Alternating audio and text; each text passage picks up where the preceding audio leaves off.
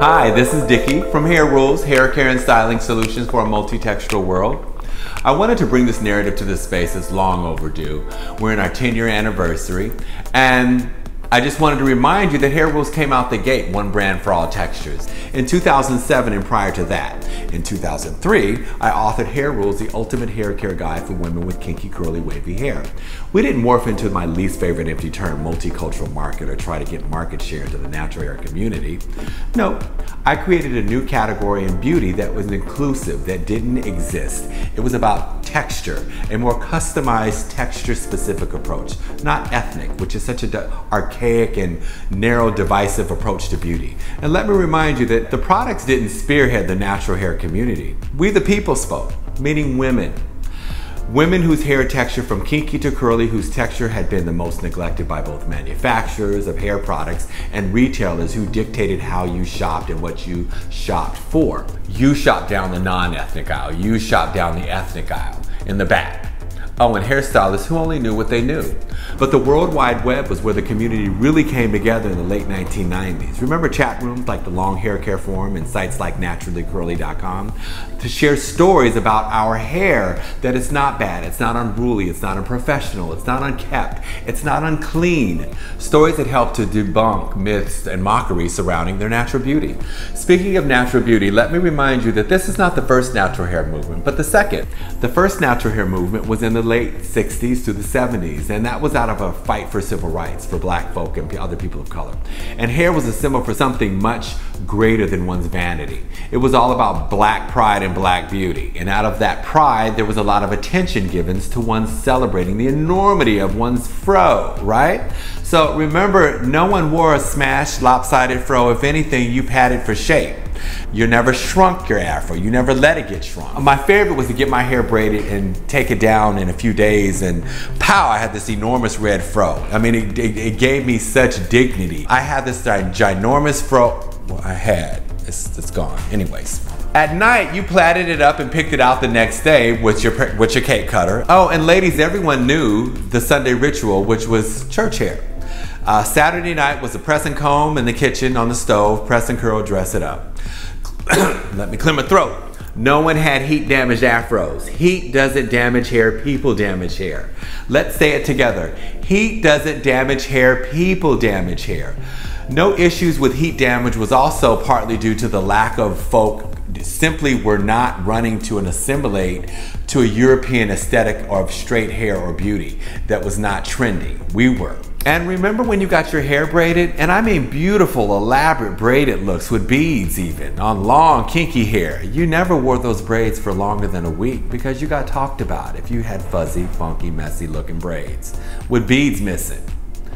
You also never sat between no one's legs for five and 10 hours getting your hair braided like you do now. It was not that serious. But then came the 80s. Money, money, money, money. For the love of money. Now, some might argue through affirmative action, people of color and women could get a higher education and move into the booming era of corporate America. And a housewife or a single mother is not about to risk all that hard work, show up at her new conservative corporate position with fight the power hair, or better yet, a Sunday press with humidity and 60% chance of rain. She's not gonna show up looking crazy. She's just not gonna do it. So relaxers became way more convenient for uh, textures that were deemed problematic. Uh, every four to six weeks, now that bad texture rears its little head and, ooh, the truth is popping out. Change it. Go change it. The truth, the truth. We can't let them see the truth. Now remember, women are now not only career women, but they're mothers and wives and doing the damn thing. So they no longer have the luxury or time to put into the work of their daughter's hair that they used to get as a little girl. And they're putting in relaxer or kiddie perms, mild relaxers at the age of five or seven years of age. More than a few generations have grown up believing something bad about their hair texture, their natural texture. Catch that, that psychological seed that's being planted. That which is yours is bad and not good. By now, weaves have moved into the late 80s and the era of weaves and micro braids, where now you can put your natural hair away entirely like a forgotten stepchild and introducing Willie Quick Weave.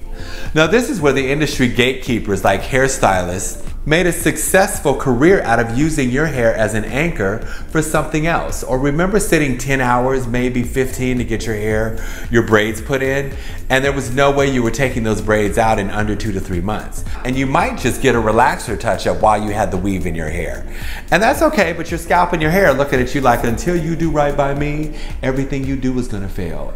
And this is where we first started to hear terms like no edges, dermatitis, hair loss. And ooh girl, that stress spot in the back. Ooh, every time you part, I can't, mm, I just didn't grow, it don't grow right there. Okay, but not to mention prior to having an aisle in the back of the hair section that was just sad, we used to have a dusty old shelf in some random drugstore with all the usual suspects.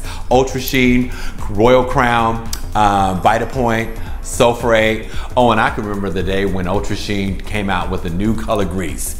It went from blue to green. My point is we were now introduced into the ethnic aisle category, the aisle that came about repackaging or remarketing the same stuff that was in the predominantly white aisle and moved into the ethnic aisle with more home box perms and grease, stay soft roll, mo curl activated, the same lathering shampoos that work great for straight, flat, oily textures, the need volume right? So now with that complicates matters even worse is the cosmetology industry, the gatekeepers, hairstylists, it wasn't until the late 1990s, like Diane Carroll Bailey, Diane DaCosta, who contributed to a new textbook approach to natural hair, which as a professional, if you didn't or you don't have natural hair, or it's simply not on your radar, which most don't, there's no mention of the word kinky curly in your textbook across the globe. For anyone who wanted to go to school to get a license to do hair, your hair texture is not mentioned. It's kind of like American history void of African American history. Now that's gonna cause some problems for a whole lot of women, which is why it's, it's a very gimmick driven industry where now we all know that none of our clients are ever gonna walk out of the salon with that shit that you've seen in hair shows on their head. It's just not gonna happen. And that term I go get my hair did was because historically most women with kinky coily textures have been relegated to styles that get you from shampoo to shampoo. And you don't dare get your hair wet until the next hair appointment. And no one really talked to you about your hair beyond what you assumed was achievable. Which, let's face it, are generally styles based off of the limitations of your stylist. No, I'm not bashing hairstylists or my industry. I'm simply highlighting where, without reinventing the wheel, you can make right what was wrong. You don't have to throw the baby out with the bathwater. I love my industry, but I love women more, and I've only ever wanted to simply give women, as my sister Michaela Angela Davis puts it, I want to give women agency over their hair. That's why I opened the Hair Rule Salon 10 years ago, which was to engage women through listening and hearing. Having a dialogue with our guests also allows for all kind of styling options without judgment. I love a weave, I love braids, I love a lace front, all that, but I really love hair care. Contrary to popular belief, kinky curly hair textures are simply the most versatile hair textures on the texture spectrum if cared for properly. So some might argue, I think, probably through one of the most innovative tools in learning and not only about hair care, but which products are better suited to your hair is a typing system created by Andre Walker in the late 90s. And it's been used throughout the natural hair community, particularly online.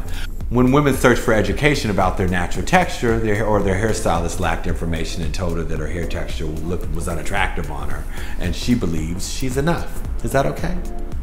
YouTube has been a very useful tool for women in finding videos for hairstyles and hair cares, uh, particularly to match like your 4C texture. Now the downside of YouTube is that it's a wild, wild west. Wakanda oil, berry juice, and nut cream do not clean, moisturize, or make for great styling options. Let's just leave that where back there. The real value to Hair Rule's texture spectrum is that it simply helps to determine what the terms like co-wash, wash and go styling and protective styling mean to your hair texture versus someone else's. So whether your texture is a one, two, three, four, remember each one of those textures has a hair type that is an A, B, or C. Um, so for instance, you can have a texture that is a four kinky and a hair type that is soft and fine. Just like you can have a texture that is a one straight and a hair type that is thick and coarse or vice versa regardless of what your texture is, everybody's hair grows at the same rate, regardless of ethnicity or texture, when cared for properly. They all share a regimen of cleanse, condition, style, finish. For instance, where do you think the term wash and go comes from? Your Latin girlfriends or your white girls that you've seen outside your entire life with wet curly hair, and none of them are walking around with bronchitis or pneumonia. You've looked at her forever and been like, damn, she can get in the shower and redo her hair anytime she likes. Well, who knew that all the four kinky, naturally dry textures warranted that approach more than anybody's? Why? Because Wash and Go Styling simply allows you to incorporate your entire hair care and styling routine into your shower routine. And no, I'm not suggesting that you go outside with cold in cold weather with wet hair, but it's great if it's a warmer season or you live in a, a warmer climate. Gone is the notion that you can't work out, lead an active lifestyle because you can't mess up your hair now right? You're not running from water, you're running to water. This is where the texture spectrum comes in.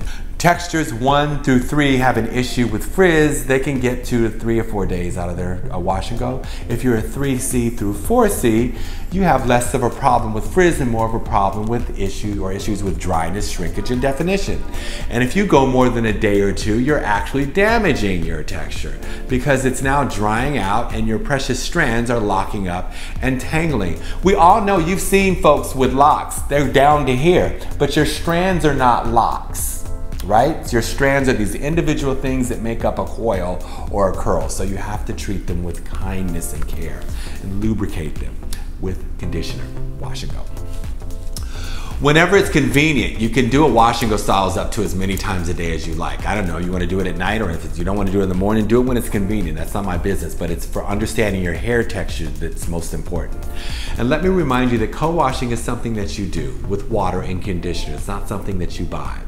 This process reverses the dryness, tangles, and promotes elongation and definition in your coils and ultimately prevents breakage. This would be the opposite of what women with a hair type that's one, flat, straight, and oily textures need which will th that woman will fight you if you put conditioner on her hair. Her hair doesn't need to be soft and lubricated. She has no volume. It makes her already limp hair flat. Styling products with alcohol are great for her hair texture. They increase volume where there was none. Just like shampoos that lather are a must for her oily, dull hair. Lather for threes and fours is like putting gasoline on your hair. All the threes and the fours start out with a texture that has volume, grows out healthy, and is naturally drier. These are simply the unique differences of each hair texture. Wash and go styling also helps to promote straight styling without heat damage because now you're blow drying your soft moisturized hair that doesn't need excessive heat. Heat damage comes from heat being applied to excessively dry hair that has been cared for improperly. You get bored, as you should. You want to sneak down to, to get a blowout. And not all hairdressers are interested in your natural texture when they're straightening it. For them, the challenge is just to make sure that you get out their chair with silky hair. And it's blowing in the wind, wash it a week later, and now it won't go back to its natural state. Three and four textures are like sponges. Take a dry sponge you can almost you, you can you can almost break it, right? You add a little moisture and it goes back and forth, right? And so your hair is the same way. Moisture gives your spongy texture flexibility. I hope that makes sense. Now let me explain to you protective styling, which is a very loaded term, but gives you tons of styling options. So say for instance, last week you did a whole week's worth of wash and go styling. And this week, you know, I don't wanna be bothered with wetting my hair every day. So you move into a style that will give you a week or two without having to wet your hair. A protective style can be a blowout, um, a twist out, braid out, a weave, or a wig. For every hour you or someone else spends on your hair, you should get a week out of a style, whether it's a blowout or a twist out or braids or weave. Stylists have no business taking longer than four hours, maybe sometimes five. One month is about as long as your precious strands and your scalp can sustain that amount of stress and neglect before they start to bite back in the form of hair loss and breakage. You no longer have a protective style. Now you're busted and neither you nor your hairstylist can be trusted with your crowning glory. You've seen those women on YouTube that look like you and they're doing all these cute styles and twist outs on wet hair and you're a four texture and you go and try the same cute step by step style and it just doesn't yield the same results. Aha! That's because she has a looser, finer, softer texture than that is not going to draw up and dry out. So if you're a tighter course 4B, 4C, and you meet her where she is by putting a golf ball size amount of leave-in conditioner, all your favorite fatty oils like coconut, shea butter, etc., etc., and blow out with a comb attachment and de gently detangle your strands.